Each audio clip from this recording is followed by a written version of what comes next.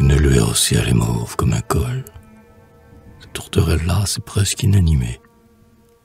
De l'ourlilas s'emplit la vallée embrumée. Et les chauves-souris ont commencé leur vol. Dans la forêt muette où chante un rossignol, le crépuscule exhale une haleine embaumée.